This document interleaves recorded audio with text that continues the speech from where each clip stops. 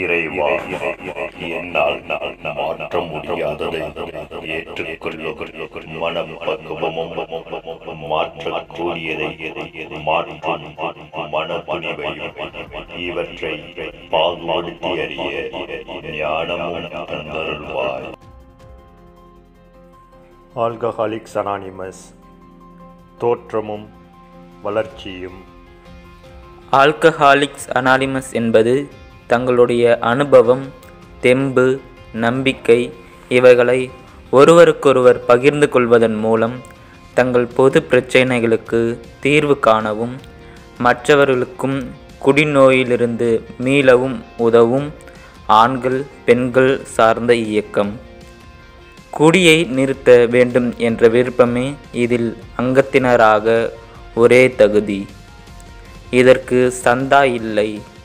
நாங்கள் விரும்பி கொடுக்கும் பொருள் உதவியை கொண்டு இதை நடத்துகிறோம். ஏஏ எந்த ஒரு இனம் ஜாதி மதம் அரசியல் நிறுவனம் அமைப்பு போன்றவைகளுடன் இணைவதில்லை. எந்தவித கருத்து வேறுபாடுகளிலும் ஈடுபட விரும்புவதில்லை. எங்களுக்கு சம்பந்தமற்ற விவகாரங்களை எதிர்ப்பதோ ஆதரிப்பதோ இல்லை. நாங்கள் தெளிவுடன் இருப்பதும் மற்ற குடிநோயாளிகள் தெளிவுத்தன்மை அடைய உதவுவதும் தான் அடிப்படை நோக்கம். ஆல்கஹாலிக்ஸ் அனானிமஸ் என்னும் அமைப்பின் உருவாக்குனர் இறைவனே ஆவார். இறைவனின் துணை கொண்டு அவர் சித்தத்தின்படி இந்த அமைப்பின் இணை உருவாக்குநர்களாக பில் வில்சன் மற்றும் பாப் ஸ்மித் என்னும் இரண்டு குடிநோயாளிகள் இருந்தார்கள். பாப் ஸ்மித்தையும் பில் வில்சனையும் சந்திக்க ஹென்ரிட்டா சைபர்லிங் என்பவர் உறுதுணையாக இருந்தார். தன்னுடைய இல்லத்திலே அந்த சந்திப்பை நிகழச் செய்தார். இந்த இருவரின் சந்திப்பானது மே மாதம் பனிரெண்டாம் தேதி ஆயிரத்தி தொள்ளாயிரத்தி முப்பத்தி ஐந்தில் நடந்தது. இந்த சந்திப்பு நடந்த ஹென்ரிட்டாவின் வீடு இன்றும் த கேட் லாட்ஜ் என்று ஏஏ உறுப்பினர்களால் அழைக்கப்படுகின்றது. இந்த சந்திப்பை டாக்டர் பாப் ஸ்மித் பில் வில்சனை சந்திக்க பதினைந்து நிமிடம் மட்டுமே ஒதுக்கினார். ஆனால் அந்த உரையாடலானது ஆறு மணி நேரம் தொடர்ந்து நீடித்தது. இந்த ஆறு மணி நேரத்தில் இருவருமே ஒரு கோப்பை மதுவை கூட அருந்தவில்லை.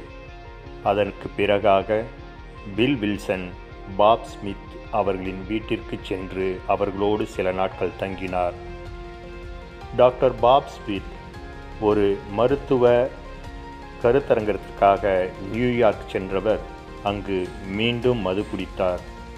திரும்பி வந்தவரிடம் ஆன்மீகத்தின் அவசியத்தையும் விடாமுயற்சியையும் எடுத்து கூறி அவருக்கு உறுதுணையாக இருந்தார் பில் வில்சன். ஜூன் மாதம் பத்தாம் நாள் அவருடைய கை நடுக்கத்தை தடுப்பதற்காக ஒரு பாட்டில் பியர் அவருக்கு வழங்கினார். அதை குடித்த டாக்டர் பாப் ஸ்மித் அன்றோடு தன்னுடைய குடிநோயிலிருந்து விடுபட்டார். இது அவர் வீட்டின் முன் உள்ள தகவல் பலகை பத்தாம் தேதி ஜூன் மாதம் ஆயிரத்தி தொள்ளாயிரத்தி முப்பத்தி ஐந்தாம் ஆண்டே ஆல்கஹாலிக்ஸ் அனானிமஸ் உதித்த நாளாக இன்றும் உலகம் முழுவதும் ஏற்றுக்கொள்ளப்பட்டு வருகிறது. பில் வில்சன் அவர்கள் ஏஏவுக்காக இரண்டு முக்கிய கோட்பாடுகளை எழுதினார். ஒன்று இன்னொரு குடிநோயாளிக்கு உதவுவது. இரண்டு இருபத்தி நான்கு மணி நேர அடிப்படையில் குடியிலிருந்து தள்ளி இருப்பது. இதனை மையமாக கொண்டு பில் வில்சனும் டாக்டர் பாப் ஸ்மித் அவர்களும் ஆக்ரானில் உள்ள மருத்துவமனையில் தங்களுடைய சேவையை துவங்கினார்கள். முதன் முதலாக அவர்கள் சந்தித்தது நபர் பில் டி இவரைத்தாம் நாம் the man on the bed என்று கூறுகிறோம். இவரே ஏஏவின் மூன்றாவது உறுப்பினர். ஆயிரத்தி தொள்ளாயிரத்தி முப்பத்தி ஐந்தாம் ஆண்டின் கடைசி நாட்களில் பில் வில்சன் நியூயார்க் திரும்பிச் செல்கின்றார். அங்கு ஆக்ஸ்போர்ட் குரூப் கேல்வரி குரூப்பில் இணைந்து நோயாளிகளுக்காக அவர் பணி செய்கின்றார். இந்த பணியிலே அவருக்கு தொய்வு ஏற்பட மீண்டுமாக அவர் டாக்டர் சில்க்வர்த்திடம் அறிவுரை கேட்க செல்கின்ற நேரத்திலே டாக்டர் சில்க்வர்த் அவரிடம் கூறியது நீ அதிகமாக போதிக்காதே வில்சன். மாறாக இது ஒரு நோய் என்பதை அடுத்தவர்களுக்கு கற்பி இதை அவர்கள் ஏற்றுக்கொள்ளும்படி அவர்களுக்கு எடுத்துக்கூறு என்று வழி கூறுகின்றார். அதை ஏற்றுக்கொண்ட பில் வில்சன் அவர்கள் டவுன்ஸ் மருத்துவமனையில் பணியை தொடர்கின்றார். அந்த மருத்துவமனையிலே டாக்டர் சில்க்வர்த் அவர்களின் நோயாளியான ஹாங்க் பார்க்ரெஸ்ட் என்பவரை சந்திக்கின்றார். இவர் ஹென்ரி ஜி என்றும் அழைக்கப்படுகின்றார்.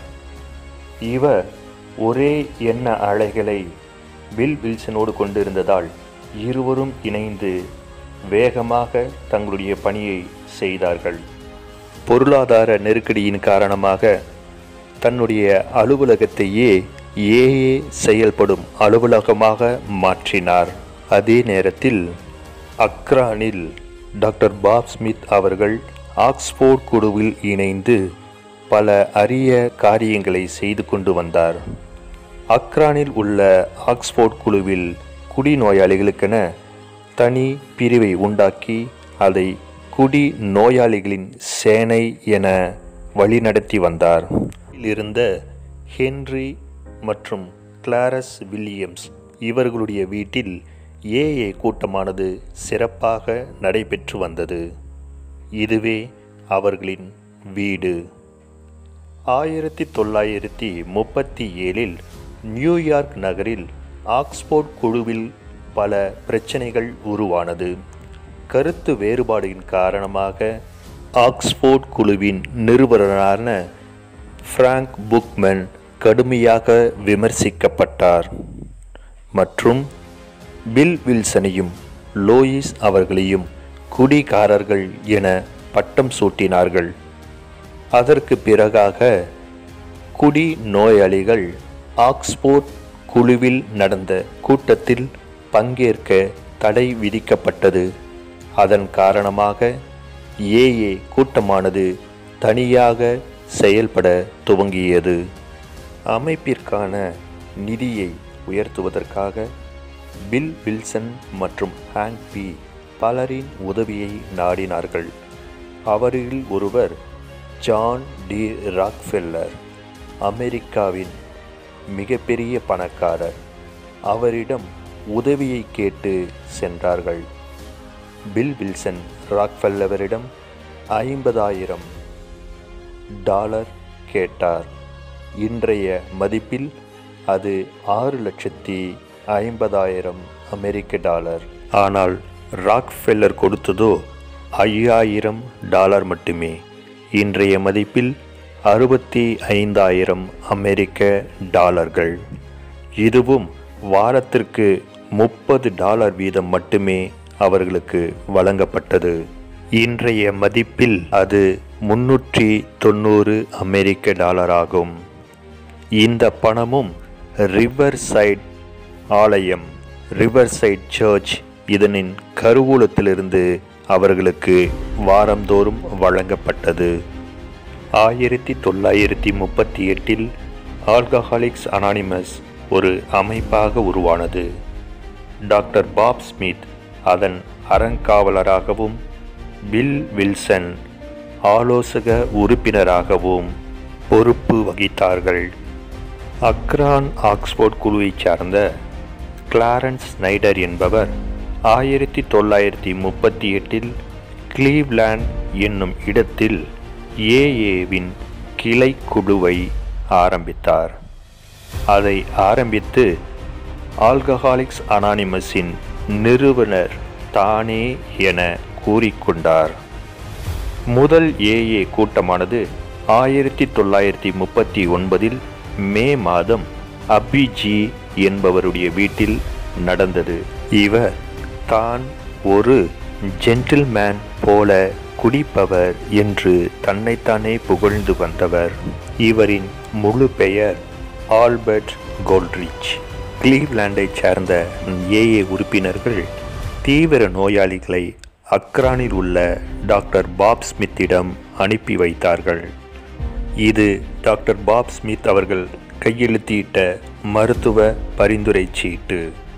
ஆயிரத்தி தொள்ளாயிரத்தி முப்பத்தி ஒன்பதில் பில் வில்சன் அவர்கள் பிக் புக் என்னும் புத்தகத்தை எழுத துவங்கினார்.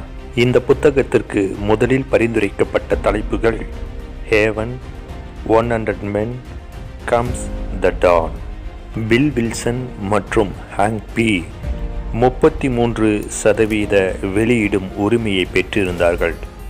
இந்த சூழலில் ஆயிரத்தி தொள்ளாயிரத்தி முப்பத்தி ஒன்பதில் ஹாங் பி மீண்டும் குடிக்க ஆரம்பித்தார்.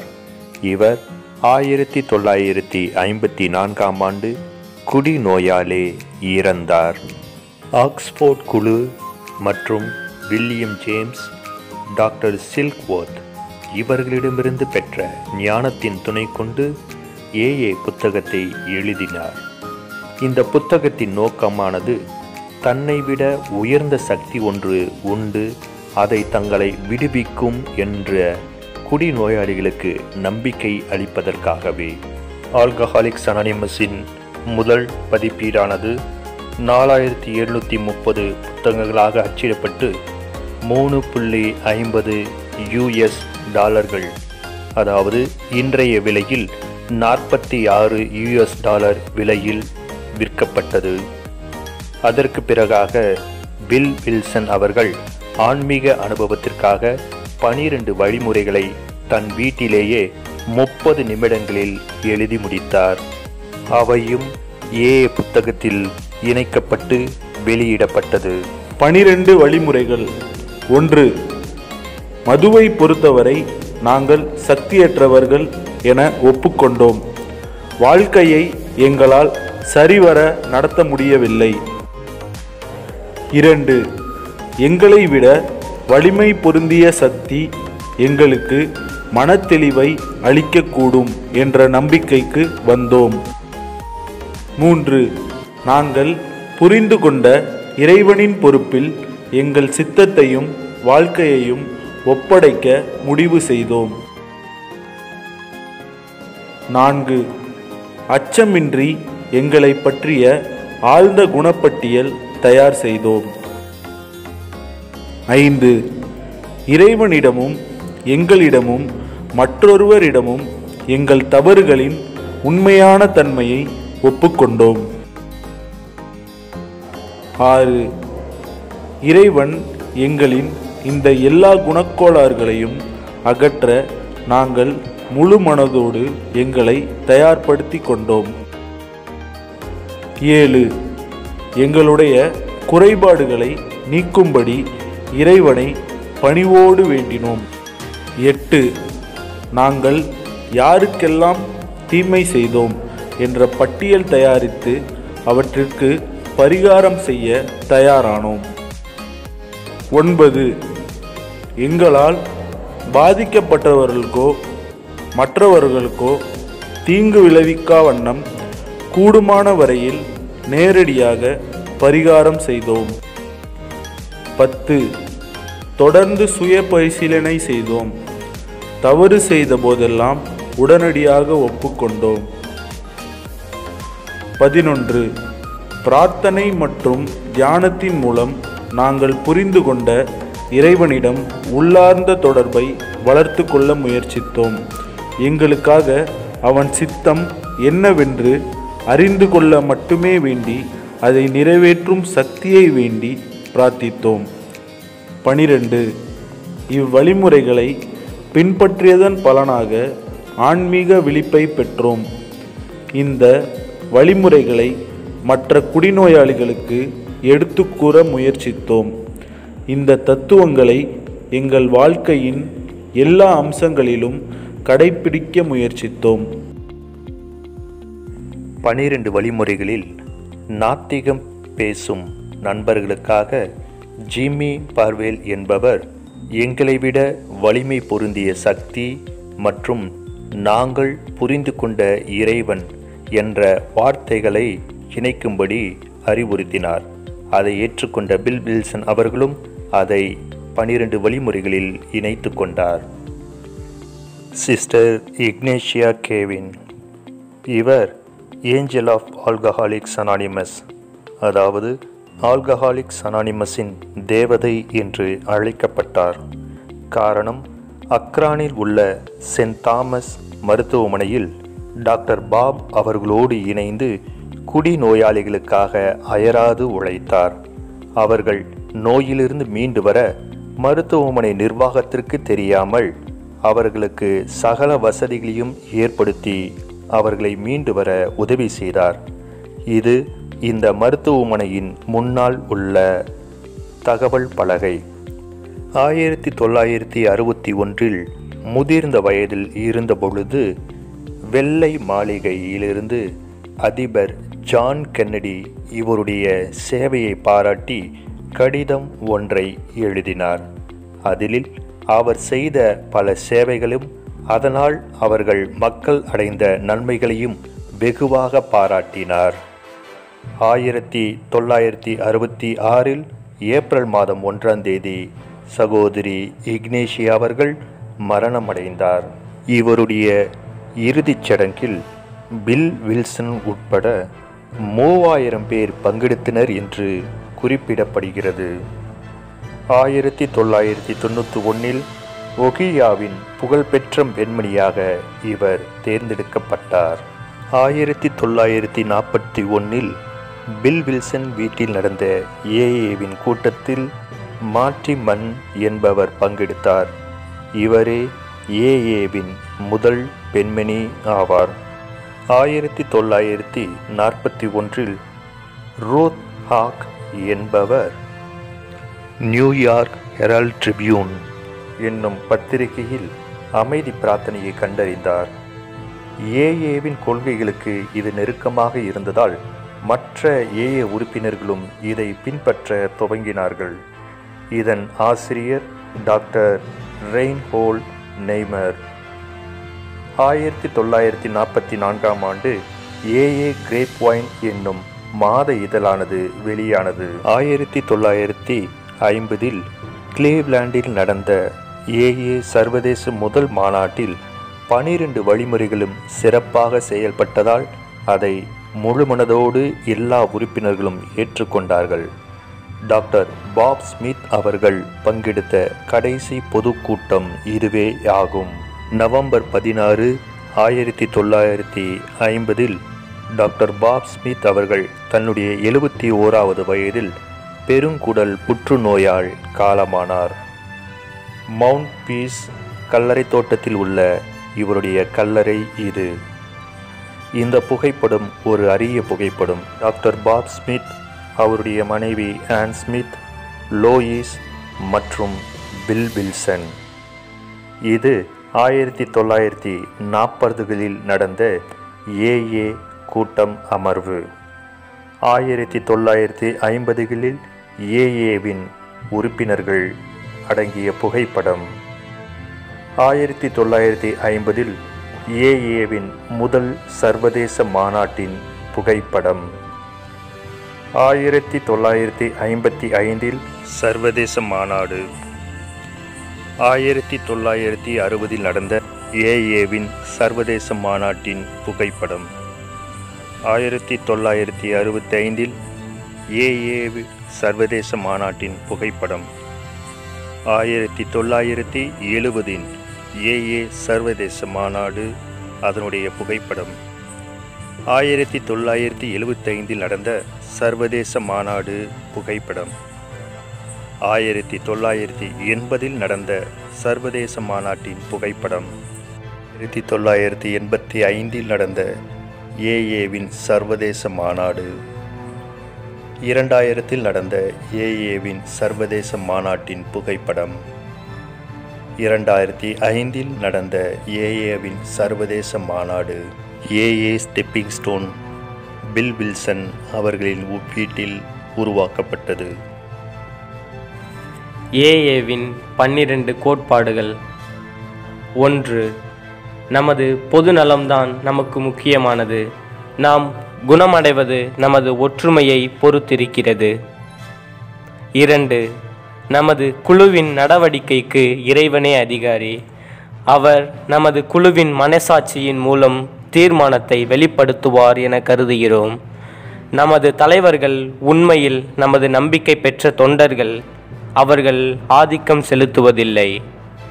மூன்று குடிப்பதை நிறுத்த வேண்டும் என்ற விருப்பமே ஏஏவில் உறுப்பினராவதற்கு ஒரே தகுதி.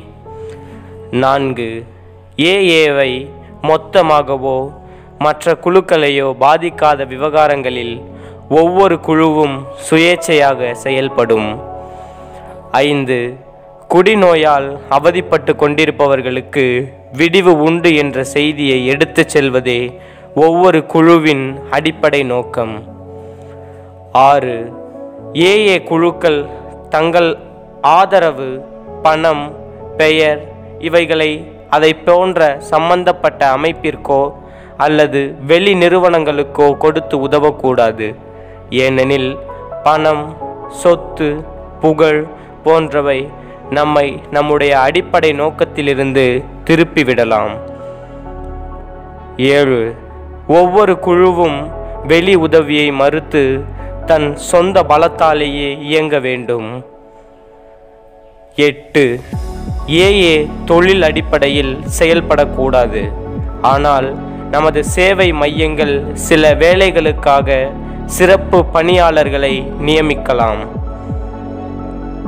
ஒன்பது ஏஐ கட்டுப்பாடு செய்யும் அமைப்பாக நிறுவப்படக்கூடாது. ஆனால் தொண்டு செய்பவர்களுக்கு மட்டுமே பொறுப்பான சேவை மையம் சேவை குழு போன்றவைகளை உருவாக்கலாம். பத்து வெளி விவகாரங்களை பற்றி ஏஏவுக்கு அபிப்பிராயம் கிடையாது. ஆகையால் பொது கருத்து வேறுபாடுகளில் ஏஏயின் பெயரை ஈடுபடுத்தக்கூடாது. பதினொன்று நமது பொது தொடர்பு கொள்கை எடுத்துக்காட்டு மூலம் இருக்க வேண்டுமே தவிர விளம்பரங்களால் அல்ல. பத்திரிகை ரேடியோ டிவி சினிமா போன்றவைகளில் நம்மை தனிப்பட்ட முறையில் இன்னாரென்று வெளிப்படுத்தலாகாது. பன்னிரண்டு நாம் இன்னாரென்று வெளிப்படுத்தாமல் இருப்பதே நம் கோட்பாடுகளின் ஆன்மீக அஸ்திவாரம். இது தனிநபரை விட நமது தத்துவங்கள்தான் முக்கியமென வலியுறுத்துகிறது. சுவாச நோயால் பாதிக்கப்பட்ட பில்வில்சன் அவர்கள் ஜனவரி மாதம் இருபத்தி நான்காம் தேதி ஆயிரத்தி தொள்ளாயிரத்தி எழுபத்தி ஒன்றில் புளோரிடா மாகாணத்தில் உள்ள மியாமி என்னும் ஊரில் இயற்கை எய்தினார். முப்பத்தி ஐந்தாவது ஏஏ சர்வதேச மாநாட்டில் பில் வில்சன் அவர்கள் கூறிய கடைசி வார்த்தை உங்களையும் ஆல்கஹாலிக்ஸ் அனானிமஸையும் இறைவன் என்றென்றும் ஆசிர்வதிப்பாராக. ஏஏவின் வளர்ச்சிக்கு உறுதுணையாக இருந்த இன்னும் சில நபர்களின் தகவல்கள். ஃபாதர் எட்வர்ட் டவுலிங் இவர் இயேசு சபை குருவானவர் மற்றும் பில் வில்சன் அவர்களின் ஆன்மீக வழிகாட்டி. பில் டாட்சன் ஏஏவின் மூன்றாவது உறுப்பினர். இவரே படுக்கையில் இருந்த நபர் என சித்தரிக்கப்படுகிறார். ஃபாதர் சாம் ஷூமேக்கர் ஆக்ஸ்போர்ட் குழுவை நிர்வகித்து வந்தவர். இவரே இதை நிறுவிய தந்தையும் ஆவார். எட்வின் தாச்சர் இவர் பில் வில்சன் அவர்களின் பழைய குடிகார நண்பர் மற்றும் பில் வில்சனை ஆக்ஸ்போர்ட் குழுவிற்கும் இறை நம்பிக்கைக்கும் கொண்டு வந்த முக்கியமான நபர் ரோலன் அசார் இவர் மிகப்பெரிய பணக்காரர்களில் ஒருவர். பல முறை இவர் குடிநோயிலிருந்து மீண்டு வர கால் யும் முயற்சி செய்தும் இவரால் மீண்டு வர முடியவில்லை. இறுதியாக இறை பக்தியின் மூலமாகத்தான் மீள முடியும் என்பதை ஏற்றுக்கொண்டு ஏஏவில் இணைந்து குடிநோயிலிருந்து விடுதலை அடைந்தார் கால்யும் உலக புகழ் பெற்ற உளவியல் நிபுணர். ஏஏவின் வளர்ச்சிக்கு பில் வில்சனுக்கும் பக்கபலமாக இருந்தார். William James varieties of religious experience என்னும் நூலின் ஆசிரியர். Jerome Ellison. இவர் வெளியிட்ட கட்டுரையின் வழியாக ஏஏ அதீத வளர்ச்சி பெற்றது. ஏஏவின் வளர்ச்சி பாதையில் சில முக்கிய நிகழ்வுகள். ஆயிரத்தி தொள்ளாயிரத்தி முப்பத்தி ஒன்பதில் மார்டிமன் மற்றும் பில் வில்சன் இணைந்து ஹைவாச் ஃபார்ம் உலகின் முதல் குடிநோயாளிகளுக்கான சிகிச்சை மையத்தை உருவாக்கினார்கள். ஆயிரத்தி தொள்ளாயிரத்தி நாற்பத்தி நாலில் கிரேப் வைன் என்னும் ஏ இதழ் வெளியிடப்பட்டது. ஆயிரத்தி தொள்ளாயிரத்தி நாற்பத்தி ஐந்தில் இதில் தேசிய இதழாக மாறியது. ஆயிரத்தி தொள்ளாயிரத்தி நாற்பத்தி ஆறாம் ஆண்டு ஏப்ரல் மாதம் ஏஏவின் பனிரெண்டு கோட்பாடுகள் அச்சிட்டு வெளியிடப்பட்டது. இது ஏஏ அமைப்புகளை சரியான பாதையில் கொண்டு செல்ல பில் வில்சனால் எழுதப்பட்டது. ஆயிரத்தி தொள்ளாயிரத்தி நாற்பத்தி ஒன்பதில் கிரேப் வைன் சர்வதேச இதழாக வெளியானது. ஆயிரத்தி தொள்ளாயிரத்தி நாற்பத்தி ஒன்பதில் ஹெசட்டல் ஃபார்ம் என்னும் குடிநோயாளிகளுக்கான மருத்துவமனையை குடிநோயாளிகளும் குடிநோயிலிருந்து வருகின்றவர்களும் ஏஏ உறுப்பினர்களும் இணைந்து உருவாக்கினார்கள்.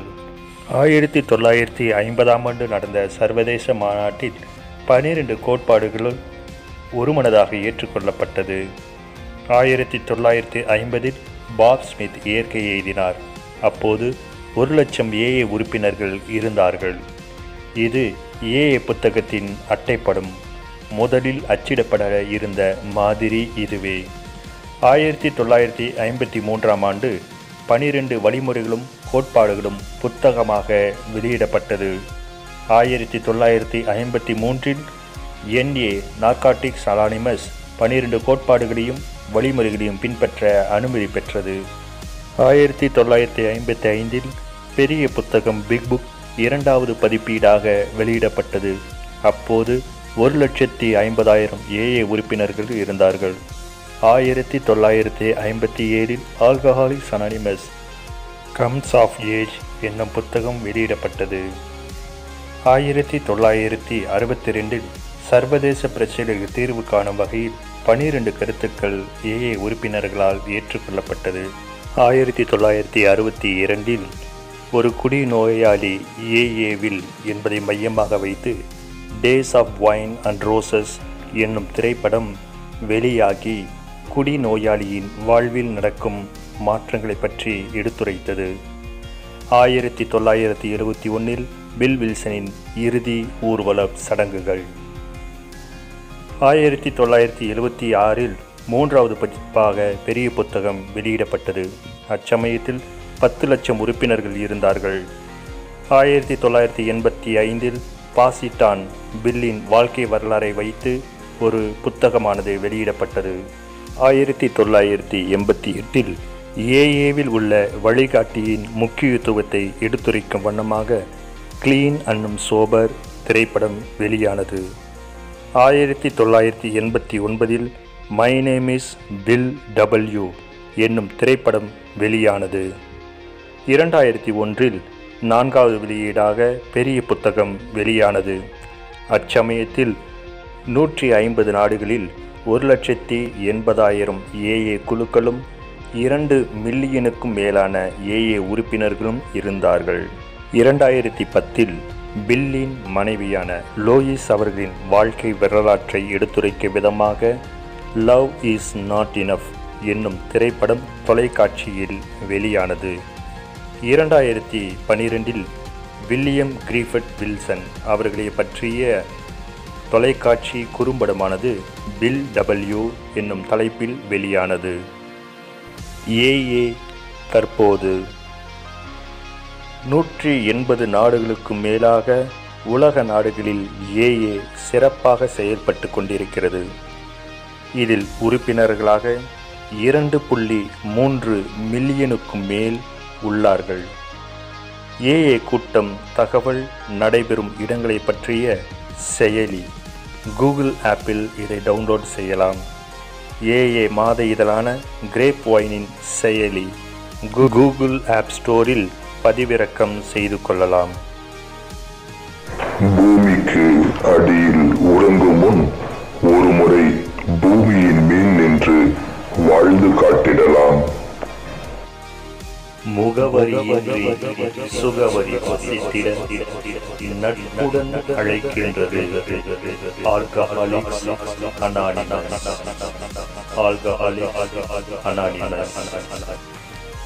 தேங்க்யூ ஃபார் வாட்சிங் தேங்க்யூ இந்த வீடியோ வெளிவர உதவியாக இருந்த ஜோஷ்வா மெஸ்ஸியா ஹரிஸ் ராஜா இவர்களுக்கும் இவர்களின் பின்னணி குரலுக்கும் நன்றிகள் மற்றும் வாழ்த்துக்கள்.